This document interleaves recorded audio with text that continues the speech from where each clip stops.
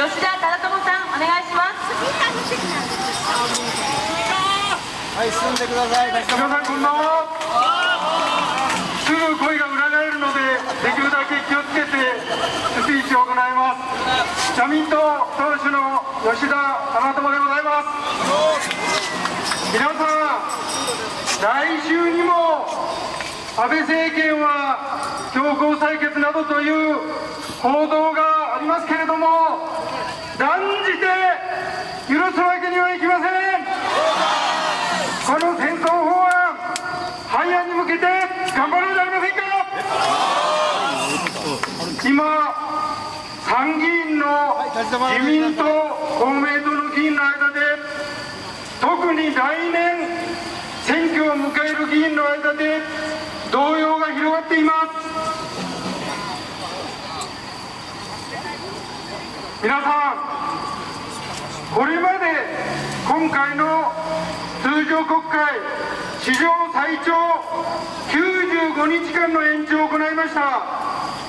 安倍総理安倍政権は早い時期にこの戦争法案を仕上げたいと思ったようでありますけれどもいよいよ会期会議のギリギリまで来ました審議は遅れに遅れた衆議院でも110回も審議が止まりましたが参議院でもすでに90回以上止まっています。どうしてか。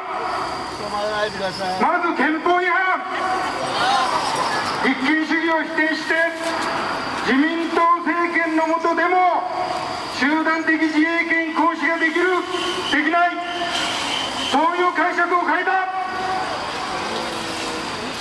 とんでもないことだそして後方支援の拡大集団的自衛権行使もその時の政権が恣意的に判断できる。BKO の拡大。自衛隊がいつでも世界中どこでもどんな場合でも海外に出ていけるそういうメニューを取り揃える法律ができるこのことは総理も中谷大臣も認めているじゃありませんかだけど政策判断で自衛隊は危険なところには行きません。安全な区域を設定して自衛隊を派遣します。法律ができたら政権が変わったらそんなものは何の担保にもならない。全然歯止めがないじゃありませんか。これから広範な国民の皆さんの反対の声が広がっています。私も全国回ると言われます。集会をいつするかどこでするか前もって教えてほしい。後でテレビや新聞で聞きます。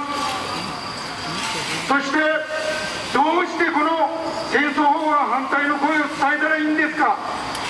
そういう質問もいっぱい受けます。だから集会にもデモ行進も出ないけれども反対だというサイレントマジョリティ反対する国民の皆さん私たちの後ろにいっぱいいるんですよ大勢の方々が。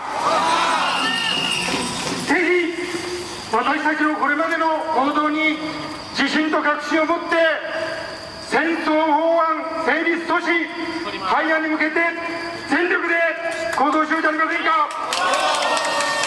明日11時から野党6党1会派の党首会談を行いましてこれから戦争法案措置に向けての意思統一を行います。また借りてきました。